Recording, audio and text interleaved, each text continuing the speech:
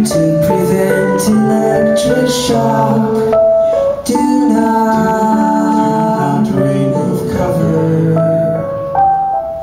No user serviceable parts inside.